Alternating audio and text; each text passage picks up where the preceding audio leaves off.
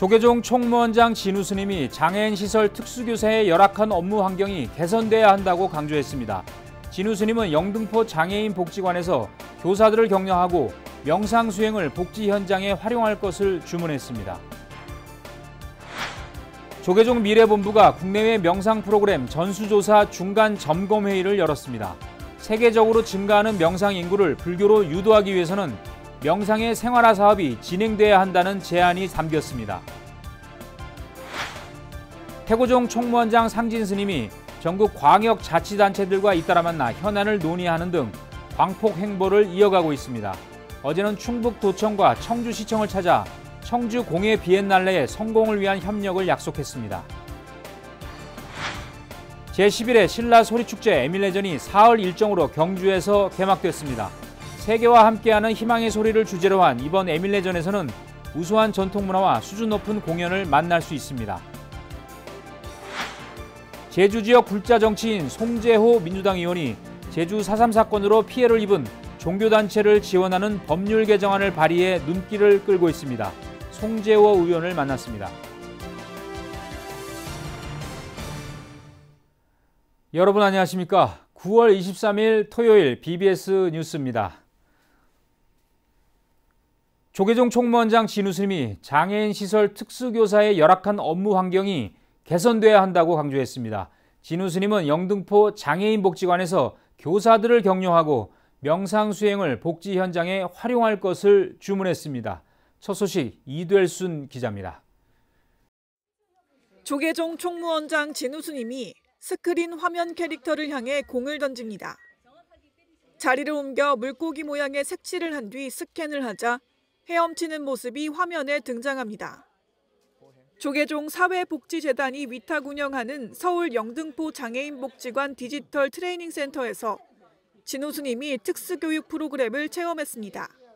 진우스님의 이번 방문은 특수교사와 전문 치료사들의 어려움을 현장에서 직접 듣고 해결책을 함께 고민하고자 마련됐습니다. 일선 현장의 선생님들은 학부모 민원과 아동학대 제기 등의 고충을 토로하며 눈물을 훔쳤습니다.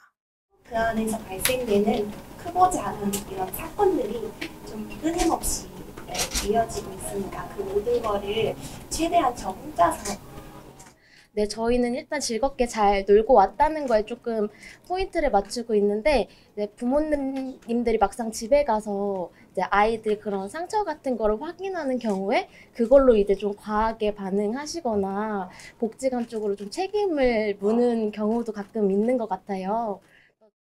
특수교사들의 심리적 압박과 고통은 이미 사회적 문제로 대책 마련이 시급하다는 호소도 이어졌습니다. 우선 장애인분들의 이제 도전적 행동이나 어려운 심리 문제분들을 이제 맡다 보면 어, 저희 직원들이 다치거나 아니면 이제 병들거나 하는 경우들이 이제 많이 있어서 교사들이 터놓은 가슴 속 이야기를 경청한 진우스님은 경제적이고 제도적인 시스템 개선의 필요성을 짚었습니다. 경제적으로 어느 정도 보상이 충분히 이루어지는 게 일단 중요하고 그리고 이제 제도적인 면 뭐 이런 법적인 거 행정 지원적인 것 이런 모든 제반 복지 행정 전반에 걸친 제도적인 면이 빨리 현실에 맞게 개선되고 어, 제도화되는 게 중요하다. 진우수님은 하지만 제도적 물질적 대응에는 한계가 있다는 점을 언급하면서 명상 수행 등을 통한 마음 치유를 1차적 처방으로 제안했습니다. 나 자신을 근본적으로 치유하는 데는 명상이 가장 효과적이라고 조언했습니다. 그것도 극복해 나갈 수 있는 것은 나 자신이다. 음.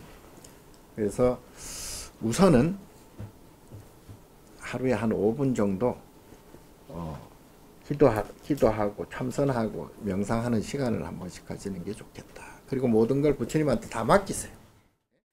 이후 소강당으로 자리를 옮긴 진우수님은 복지관 직원들의 업무 성과를 높이 평가하며 일정을 마무리했습니다. 진우수님의 이번 방문은 복지관 종사자들이 겪는 보편적 어려움을 해결하는데 명상 등의 불교적 해법이 효과적이라는 데 공감한 시간이기도 했습니다. BBS 뉴스 이del순입니다. 명상의 대중화와 세계화를 위한 기초 연구 조사가 체계적으로 이루어지고 있습니다. 조계종 미래본부 명상연구위원회 소위원회는 어제 종로 전법회관에서 국내외 명상 프로그램 전수조사 중간 점검회의를 열었습니다. 국내 조사팀 담당자 동아스님은 종단 소속 시설이 아닌 충남 논산 마음수련 메인센터는 맞춤형 명상 프로그램을 개발해 명상 보급을 활발히 하고 있다면서 조계종단에서도 직업 연령, 지역에 맞는 명상 프로그램을 개발할 필요가 있다고 설명했습니다. 해외 조사팀이 조사한 자료를 보면 증가하는 명상 인구를 불교로 유도하기 위해서는 명상에 대한 진입 장벽을 낮추면서 명상 생활화 사업이 동시에 진행돼야 한다는 제안이 담겼습니다. 회의에는 조계종 명상 프로그램 추진단장 미산 스님과 미래본부 사무총장 성원 스님, 명상연구위원회 위원들이 참석했습니다. 서산 부석사 불상의 소유권이 일본 관음사에 있다는 법원 판결에 대해 국내 전통 사찰 130여 곳이 함께 잘못됐음을 지적하면서 탄원서를 제출했습니다. 서산 부석사 불상봉안위원회는 부석사의 연속성과 역사를 부정하는 것은 한국 불교와 전통문화 계승 발전에 헌신한 전국 사찰에 큰 혼란을 초래하는 일이라는 내용의 공동 탄원서를 대법원에 접수했다고 밝혔습니다. 탄원서에는 대전 고등법원은 조선왕조실록의 일부 내용만 증거로 채택하고 전문 지리서인 동국여지 승남을 증거로 채택하지 않아 한 번도 폐사한 기록이 없는 부석사의 소실 가능성을 전제로 판결이 이루어졌다는 내용이 담겼습니다. 이번 공동탄원서에는 조계종 사찰뿐 아니라 천태종과 관음종, 태고종, 불교교육 육주회, 선학원 등 여러 종단이 참여했는데 이는 사찰이 화재로 소실돼 복원한 경우 부석사 판례처럼 역사성을 인정받지 못할 수 있다는 위기감이 반영된 것이라고 봉안이는 설명했습니다. 덕승 총림 수덕사는 어제 경내 대웅전에서 조계종 총무원장을 지낸 인곡당 법장대종사 열반 18주기 추모 달해제를 봉행하며 스님의 가르침을 되새겼습니다. 추모 달해에는 덕숭 총림 방장 다라 우송대종사와 수덕사 주지 도신스님, 조계종 중앙종회의장 주경스님을 비롯해 총무원 기획실장 우봉스님과 중앙종회의원 정범스님, 서울국제선센터 주지 법원스님, 불교인권위원회 위원장 진관스님 등이 동참했습니다. 은사이신 법자장 스님께서 남기신 그 뜻을 한시도 잊지 않고 그 뜻이 저희 종단 발전과 저희 불교 발전에 이바지 될 수 있도록 저희 문도 사형 스님들과 사제 스님들 모두 한 마음 한 뜻으로 그 스님의 유지를 받들도록 그렇게 하겠습니다. 법장 스님은 1960년 수덕사에서 원담 스님을 은사로 출가한 뒤 조계종 중앙종회 의원과 수덕사 주지, 학교법인 동국대 이사, 조계종 제31대 총무원장을 역임한 뒤 지난 2005년 9월 11일 세수 64세, 법납 45년으로 열반에 들었습니다.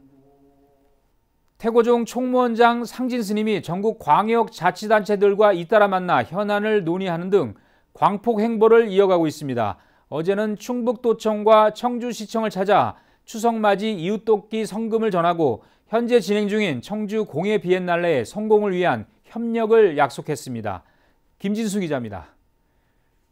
한국 불교 태고종 총무원장 상진 스님이 20일 충북을 찾아 지역 협력과 종단 발전을 도모했습니다. 상진 스님은 충북 종무원 임원 스님들과 함께 충북 도청을 방문해 김영한 도지사와 간담회를 갖고 다양한 협력 방안을 논의했습니다.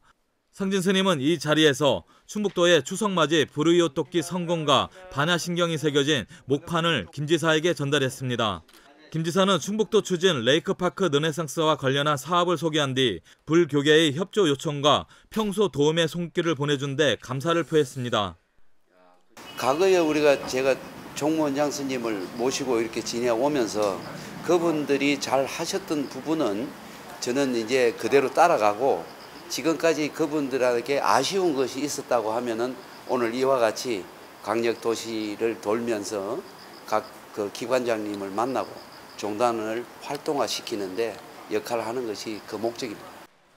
이에 앞서 상징 스님은 청주시청을 찾아 이범석 시장과 차담을 나눈 뒤 현재 진행하고 있는 2023 청주 국제 공예 비엔날레 입장권을 구입해 청주시에 기탁하고 이 시장에게도 반야신경이 새겨진 목판을 성문했습니다. 어, 지금 현재 각 지역별로 에, 뭐 수혜도 이번 데도 있고 예, 또 이런 여러 가지 행사들을 에, 뭐 많이 하고 있기 때문에 그 행사에 따른 지역마다 다니면서 우리가 지원을 작지만 성의를 표하고 있는 그런 입장입니다. 특히 태고정은 이번 상진 스님 방문을 계기로 충북도 청주시의 협력 관계를 더욱 공고히 하고 향후 충북 종무원 추진 사업에서의 적극적인 지원을 기대했습니다. 지자체 방문을 마친 상진 스님은 이어 충북 종무원 주지총회에 참석해 충북에서의 바쁜 일정을 소화했습니다. 지난 7월 취임 법회를 가진 상진 스님은 태고 종단 발전과 위상을 높이기 위한 광폭 행보를 이어가고 있습니다. BBS 뉴스 김진수입니다. 성덕대왕 신종 일명 에밀레종의 가치와 정신을 기리는 신라 소리축제 에밀레전이 사흘 일정으로 경주에서 개막했습니다. 세계와 함께하는 희망의 소리를 주제로 한 이번 에밀레전에서는 우수한 전통문화와 수준 높은 공연을 만날 수 있습니다. 대구 BBS 정시훈 기자입니다. 신라 화랑이 기상을 품은 경주 문화문 서랍을 풍물단의 길놀이로 제11회 신라 소리축제 에밀레전에 막이 올랐습니다. 첨성대 잔디광장에서 4년 만에 열리는 에밀레전의 주제는 세계와 함께하는 희망의 소리 2025 APEC 정상회의 경주 유치를 기원하며 국내뿐 아니라 외국인들도 즐길 수 있는 대신라왕국 체험 축제로 꾸며집니다.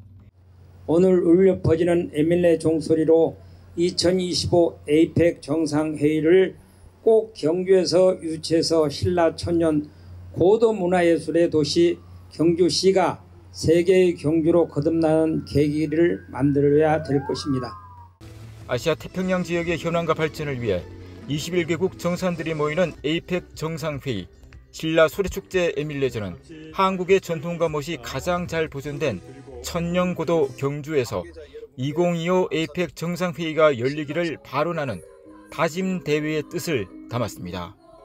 경주 시민 여러분, 관광객 여러분, 에이펙 정상회의 경주 이치에 여러분의 강력하고 일치된 뜻을 모아 주시길 기원합니다. 오늘 이 자리가 정상회의 유치 다진 대회의 뜻도 함께 담아 진행될 것을 바라면서 끝으로 신라 소리 축제 에밀리전을 유의미하게 즐길 주실 것을 부탁드립니다. 이번 축제를 통해서 아름다운 신라의 종 성덕대왕 신종을 시민과 관광객들에게 널리 알리고 우리 문화의 우수함을 대내외에 널리 알리는 자리가 될 것이라고 생각합니다. 올해 에밀레전은 신라종 타종과 불교 사물체험 등 에밀레전에서만 할 수 있는 특별한 체험에 더해 박서진, 홍순지, 민정민, TG 브레이커스 등 국악과 가요, 댄스가 어우러진 에밀레 축하 공연이 매일 열립니다.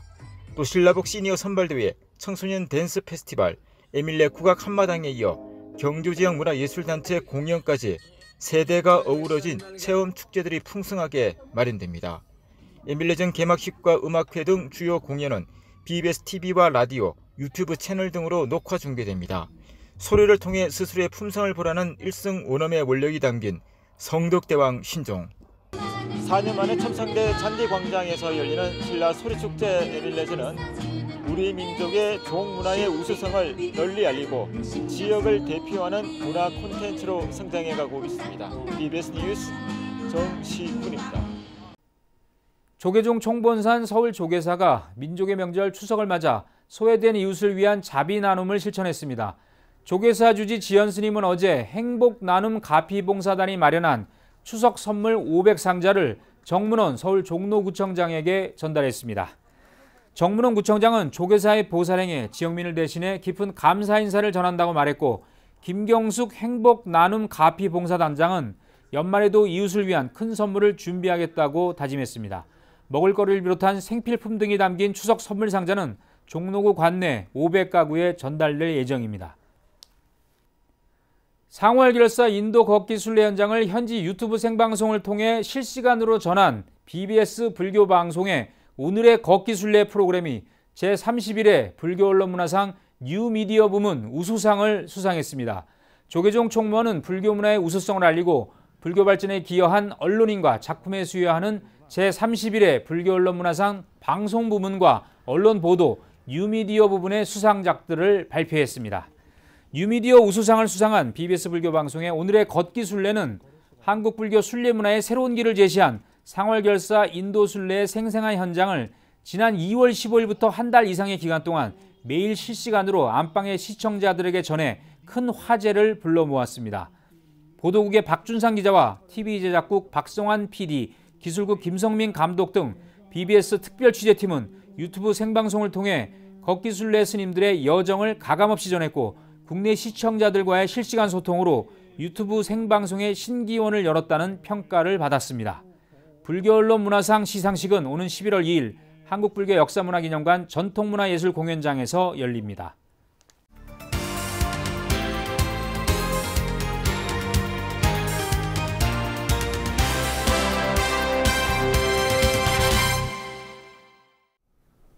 예, 의원님 안녕하십니까? 네, 안녕하십니까? 예, 오늘은 제주시 갑 지역구에 더불어민주당의 송재호 의원님을 모셨는데요. 교, 의원님은 교수도 하셨고 여러 가지 또 분야에서 전문가로서 이름을 날리시다가 지금 국회의원을 하고 계신데 사실 제주 지역구 하면 항상 이게 현안입니다. 그죠? 예. 4.3 그 진상 규명과 희생자 명예 회복에 관한 특별법 일부 개정 법률안을 또 이번에 발의를 하셨는데 네. 저는 이 법안이 뭐 많이 나왔던 것 같긴 한데요. 네. 제 기억에는 네. 이번에는 어떤 내용이고 또 이게 앞으로 어떻게 다루겠다 그런 뜻인가요? 제주 4.3은 이제 어, 한국 현대세 최대의 비극이라고 하죠. 당시 제주도 인구가 한 20만 명 정도 되던 시절에 4만 명 정도가 돌아가시거나 부상을 당했으니 가족의 한 분은 꼭 예. 사삼에 연루돼서 음. 그리고 이제 그렇게 희생을 당한 것도 음. 국가 공권력에 의해서 예. 믿는 정부에 의해서 예. 희생을 당한 거니 이게 참으로 사연도 복잡하고 예. 억울함도 많고 어, 그래서 음. 한동안 묻혀 있다가 이제 예. 김대중 대통령 때 이걸 좀 정확하게 진실을 규명해 보자 해서 어, 사삼 특별법이 제정이 되고 어, 진상규명 보고서가 아, 노무현 대통령 때 나옵니다. 불교계만 해도 어, 네. 스님이 뭐 16분이나 어, 네. 죽창에 찔려 돌아가신 네. 분도 있고 또 절도 또 많이 네. 많이 소실되고 음. 또 실제 절 자체가 학살의 현장도 있습니다. 관음사 같이. 예. 어, 근데 그런 부분에 대해서는 진실이 규명되거나 음. 또 뭐 불교에 와서 사과한 적도 없고 예. 그렇잖아요. 예. 놓쳐갔어요. 왜냐하면 종교계다 보니까 예. 불교가 아, 우리도 좀 이렇게 좀 주목해달라 하기에는 뭔가 좀 예. 쑥스러운 아이 백성들이 이렇게 중생들이 하는데 음. 스님들까지 하기가 좀 그런 것도 있고 또 안에서는 뭐 또 스님들까지 이렇게 또 하기에는 또 놓쳐서 아, 아 이제 이 부분도 좀 사실은 희생이기 때문에 그러면 돌아가신 스님들의 소위 음. 위령도 해야 되잖아요. 뭐 예. 그 족적도 좀 정확하게 음. 적어야 되고 그런 부분들을 해야 되겠다 해서 어, 종교계까지 포함하는 아, 이 예. 일들을 해라 하는 특별법 개정안을 예, 이번에 낸 겁니다. 근데 뭐 이거를 뭐 크게 뭐 아주 뭐 완강하게 반대하거나 이런 세력이 뭐 예, 어, 아니 이거는 어, 어, 없습니다. 없어서 예. 어, 저는 이번 정기국회 내에 이 법안을 순조롭게 통과시키려고 합니다. 예. 자, 그리고 말이죠. 자, 제주도가 이제 글로벌 도시로 도약하기 위해서는 해외 교류라든지 여러 가지 이게 필요한데 싱가포르 제주 사무소가 문을 열었어요. 예. 그러면은 동남아 국가 연합 아세안 국가 간의 교류 이게 좀 많이 활성화될 수 있는 계기가 될 수 있다고 보십니까? 어, 그러면 그 네. 제주도가 국제자유도시입니다. 예, 제주도에 예, 국제학교가 뭐, 있잖아요. 예, 알고 있습니다. 예, 예 그러니까 그 국제자유도시라는 음. 게 세계적인 모델이 사실은 싱가포르, 홍콩이거든요. 음. 그러면 제주도가 국제자의 도시로서 한국 통상의 아주 전초적인 모델이 돼보자 음. 하는 그런 취지로 이해하면 될 것 같고요. 아. 저는 또 그게 성공해야 네. 어, 이 대한민국도 소위 네. 그러니까 대한민국이란 거대한 이 화물선, 네. 네. 화물선? 앞에 있는 예인선이 제주도다. 뭐 네. 이렇게 이해를 해도 좋을 것 같아요. 예. 코로나 전에 예. 코로나 전에 제주도 관광객이 크게 보면 우리 내국인이 한 천만 음. 대한민국에서 오고 하는 게 그다음에 음. 중국 등 밖에가 한 오백만 이렇게 예. 보통 구성이 그렇죠. 이렇게 보통 된다고 네. 보는데요. 어, 앞으로도 이게 중국 또 인도네시아나 베트남 같은 아세안 네. 또 일본 음. 예, 요게 3대 아주 중요한 해외 시장이 되리라고 보고요.